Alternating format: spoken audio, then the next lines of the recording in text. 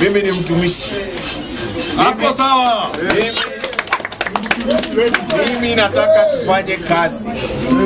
Ukubwa tumewachia wale mafarasi wengine, sisi tunataka tufanye kazi. Yenye si mumeona Peter Kenneth amechapa kazi Gatanga. Sasa tunataka tufanye nini? Tugatanganize Kenya ili tuwafanyie wenzetu, mandugu zetu na madada zetu kazi. Mimi nimefurahi sana kwa ile kazi ambayo mnafanya hapa, sio kazi rahisi.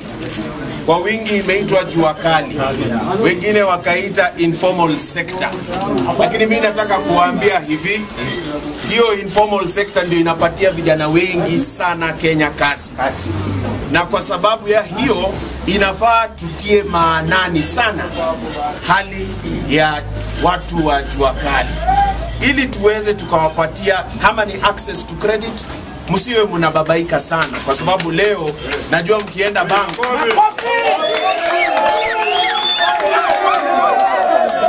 najua, najua mkienda bank mnaitishwa security. Security wanaitisha nini? Shamba. Shamba tuko nazo? Shamba tuko nazo? Kwa hivyo inafaa access to credit ifanywe rahisi sana kwa wale ambao wako na biashara. Bora biashara yako inafaa na biashara yako inakuletea mapato, unafaa upate access to credit, sivyo? Kwa sababu wale ambao wanafanya kazi kwa maofisi kwa sababu wanapata payslip, wakienda kwa bank wanafanyiwa nini? Wanapewa pesa, sivyo? Hata nyinyi vile vile munafaa mupewe credit. Na sekretari wenyu bwana Dawa amesema kitu cha maana sana. Hakuna uchumi ulimwengu mzima ulijengwa bila the informal sector, kwa sababu informal sector wa, ile ambayo wanaita cottage industry. Ndio inapatia vijana mapato na ndio inapatia vijana kazi. And it is what will grow this country. We want to be able to be proud to see products in our market written made in Kenya. Hapo sawa. mimi ninashangaa sana.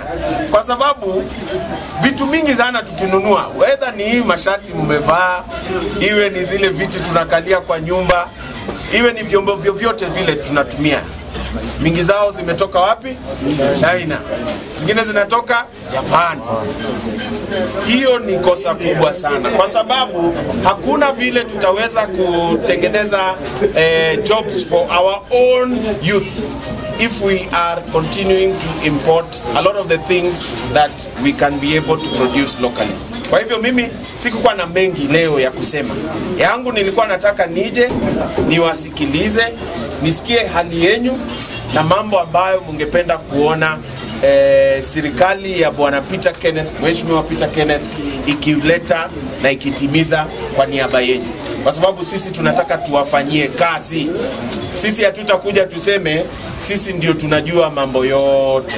Sisi tunataka tuzungumze na wananchi ili tuweze tukasikia uh, opinion zenyu, kwa sababu nyinyi ndio wenye kazi, nyinyi ndio wenye mnajua tutaweza improve uh, kazi yenyu namna gani. Kwa hivyo leo mimi nimekuja kutembelea nishughulike na nyinyi kwa mabiashara zenyu, kwa viwanda zenyu, halafu tutarudi tena na kijana kijana rais.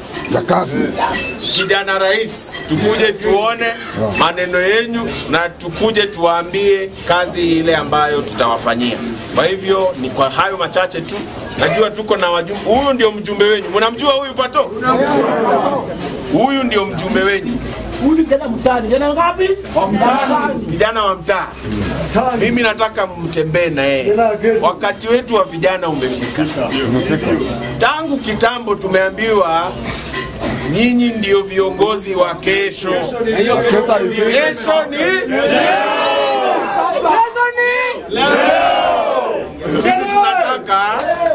tunataka tuchukue uongozi.